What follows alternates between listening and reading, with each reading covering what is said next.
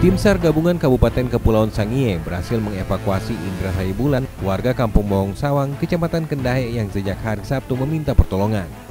Akibat tali rakitnya akan putus dan dikhawatirkan hanyut, serta kondisi makanan juga yang semakin menipis, membuat korban meminta pertolongan dari media sosial yang ada.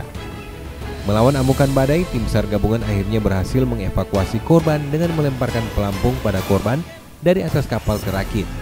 Korban pun ditarik naik ke atas kapal dengan seutas tali.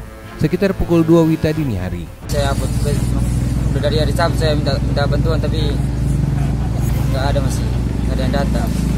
Sangat sekali. Gelombang sangat tinggi. Dirakit. Oh dirakit ya, dirakit. Gelombang sangat tinggi. Bertalinya putus dua, kurang satu yang bagando.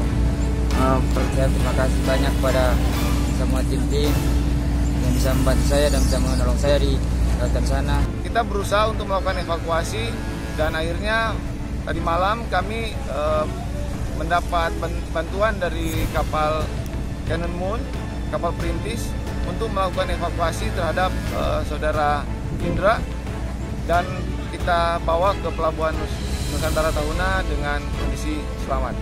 Sesampainya di Pelabuhan Nusantara Tahuna, korban dicek dahulu kesehatannya di Lanal Tahuna Selanjutnya dibawa pulang ke rumahnya di Kampung Mong Sawang, Kecepatan Gendahe.